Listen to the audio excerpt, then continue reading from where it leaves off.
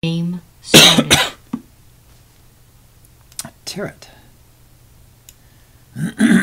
Don't know what that means. Okay, F4. Let's try the. Uh, this is bird's opening, and this is some counter gambit.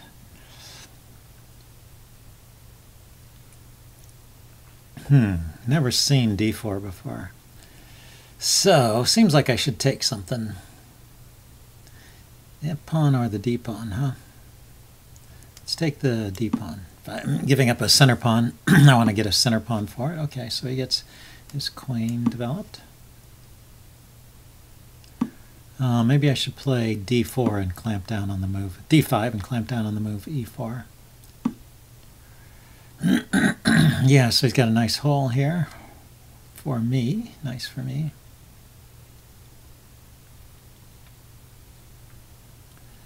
And he's not going to be pinning this knight anytime soon. So maybe bishop d6 and pawn to uh, c5.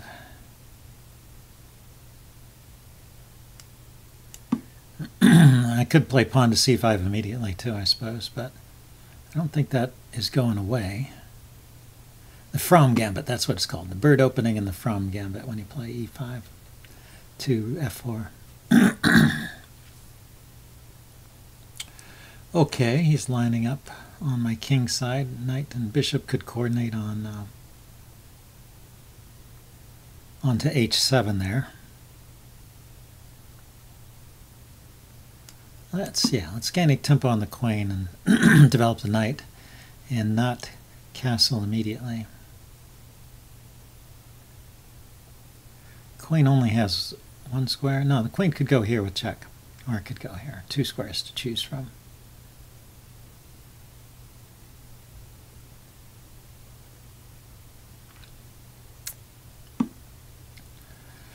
Okay, chose queen c3, staying on this diagonal maybe. So let's uh, develop the knight. With the queen check, I would just develop the knight anyway, so. It's just a matter of where white uh, wants his uh, queen, although I just saw a funny move now. Uh, okay, it goes away. If he hadn't castled, I could have played uh, c4 and bishop to b4 with the knight supporting the bishop, pinning pinning the queen, but that doesn't work now. So I still play c4 and bishop b4. c4 and um, the bishop has to retreat. There's only one square.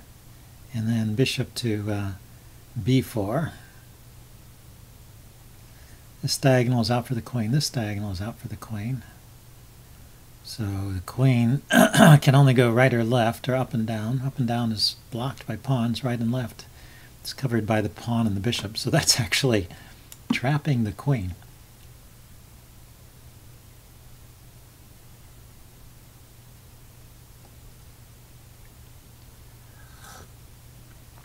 Yeah, so if he plays bishop to um, e2, I believe, I calculated this to be a queen trap. This might be a short game. Yeah, see the pawn covers all these squares on this row and between the pawn and the bishop. Up and down is covered. This diagonal is covered by the bishop, and this diagonal is covered by the knight. So the best he can do is give up his queen for a piece.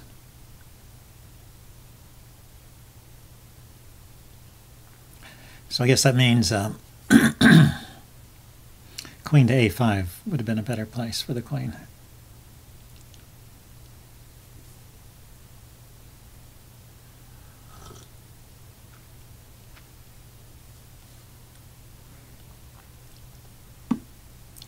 Okay, he's going to play on. Um, I will go ahead and uh, play on as well. yeah, white really does not have a lot to play for. He can open up the F file. I just, uh, the thing to do is to be cautious and not get caught in a skewer of some kind. Yeah, like a rook here, skewering the king and the queen.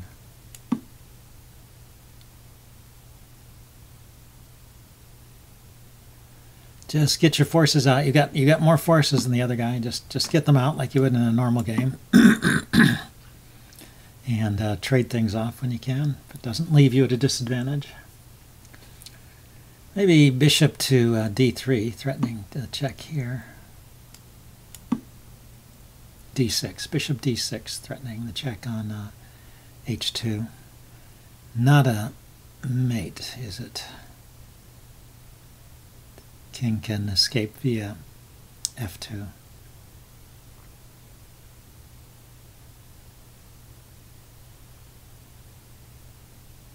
So maybe just bishop to g5. Yeah, so he covered it, so I don't, uh, I don't get to take there.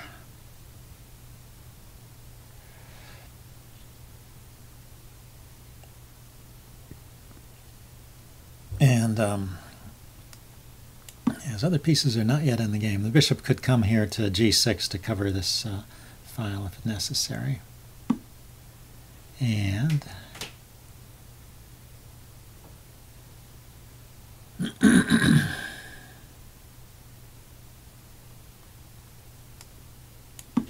get my other rook in. Hitting the queen.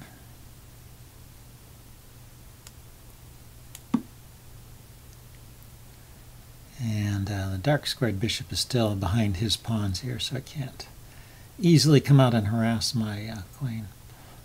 But uh, now his rook is a target. Yeah, I should just take his rook, right? Where's the knight going? Nowhere special. you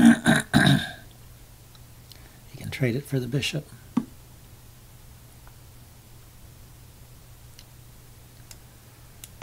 So just maybe rook to um, e5.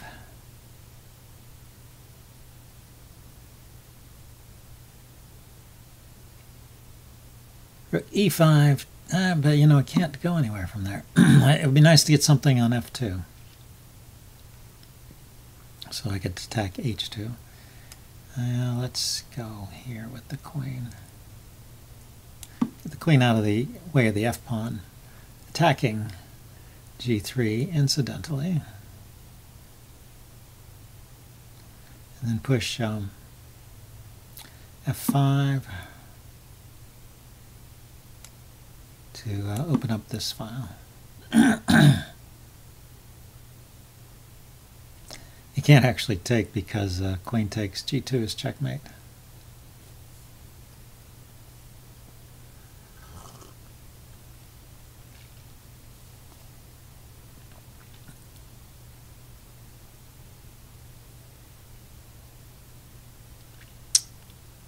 So yeah, it's tough tough to play. so if you count the pieces, one, two, three, four. Yeah, each side has four pieces, but I have a rook for a bishop and a queen for a rook. Or, yeah, something like that. Queen for a, a minor piece.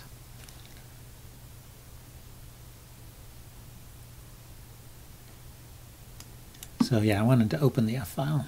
Check.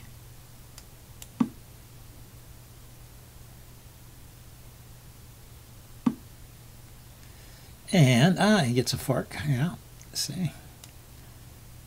Should not be enough to change the course of the game, but uh, shows why you have to be alert all the time.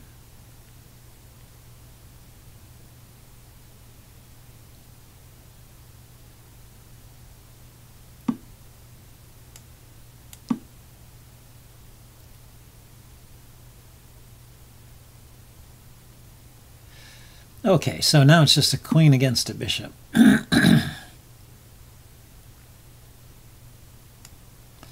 so I should make use of the greater mobility of the queen, open up some lines, and the queen can come around and scoop up some loose pawns here maybe. And uh, also start to make some threats against the king over here.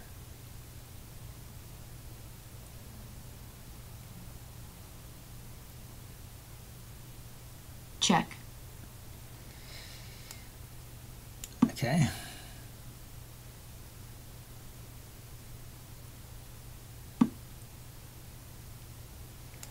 Let's um, bring the king out to attack that bishop.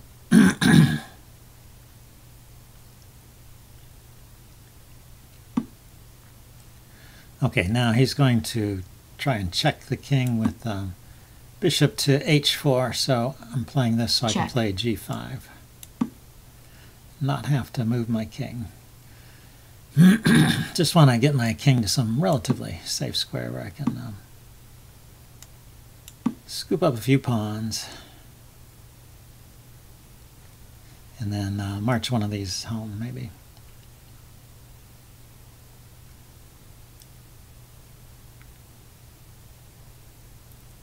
White resigns. Yeah, yeah, it was not going to be an easy game to win. So I'm going to upload this, uh, even though it was kind of a short, short games over and about move nine, but uh, it, it shows some some ideas of how to how to think tactically. I thought.